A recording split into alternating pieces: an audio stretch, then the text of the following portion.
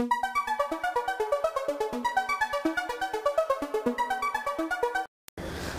वालेकुम friend friend, Delhi मोमिन की नेक्स्ट एपिसोड में आप देखेंगे कि मोमिन की छोटी बहन घर जाकर अपनी बड़ी बहन को बताती है, जो कुछ गौहर ने उसे रास्ता रोकर कहा। वो अपनी बहन को बताती है कि वो मेरा रास्ता रोकर ये कह रहा था कि भाई, अपने किसी स्टूडेंट को पसंद करते हैं और उसके घर भी जाते हैं।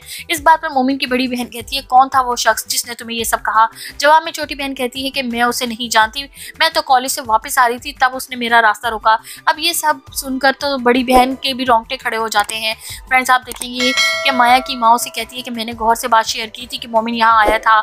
और ये सुनकर तो माया भी भड़क जाती है और कहती है कि आपने कितनी बड़ी गलती कर दी।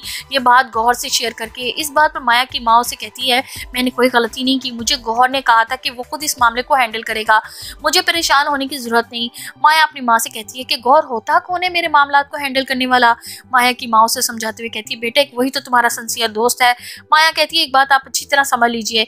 मेरे और गौहर के दरमियान ऐसा कुछ नहीं और ना ही उसकी कोई अहमियत है मेरी ज़िंदगी में। दूसरी तरफ़ आप देखेंगे कि फ़खर आयशा के लिए कड़े लेकर आता है ताकि उसे तोहफे तहफ देकर अपनी हवस का शिकार कर सके।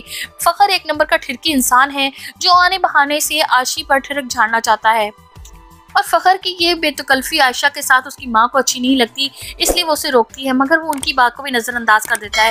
अब इस सारी सूरत हाल के बाद आशी की वालदा मोमिन को घर बुलवाती है और कहती है कि तुम मेरी बेटी का हाथ थाम लो, उसकी ज़िंदगी इस भेड़िए नुमा शख्स से बचा लो, वो मेरी बेटी के काबिल नहीं है। मगर मोमिन कहता है, अगर मैं आशी को घर से भगा कर ले गया तो मेरे घर वाले कहीं मुँह दिखाने के लायक नहीं रहेंगे और ना ही मेरा इस्लाम इस बात की इजाज़त देता है। आशी अपनी वालदा को कहती है, अम्मी छोड़ दें, कोई फ़ायदा नहीं इस बेरहम शख्स के आगे फरियाद करने का। मगर मोमिन आशी से कहता है, मैं तुम्हें इज़्ज़त से लेकर जाना चाहता हूँ। मैं ये नहीं चाहता कि दुनिया वाले मोहब्बत को गलत समझे और गुनाह समझें।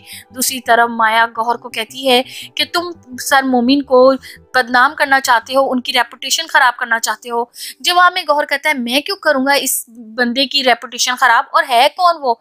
माया कहती है, मैंने तुम्हें पहले ही भी वॉर्न किया था और अब फिर कर रही हूँ। उनके और मेरे दरमियान मत आना।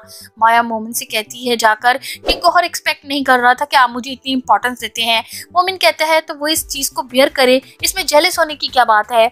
जवाब में माया कहती है, क्योंकि वो आपके और मेरे ताल्लुक के बारे में बहुत अच्छी तरह जानता है। तो फ्रेंड्स क्या मोमिन अब माया के इस इशारे को समझ पाएगा? मजीद अब आगे क्या होगा? इनका अंजाम ये सब देखने के लिए हमारे साथ रहें और हमारे चैनल को सब्सक्राइब करें।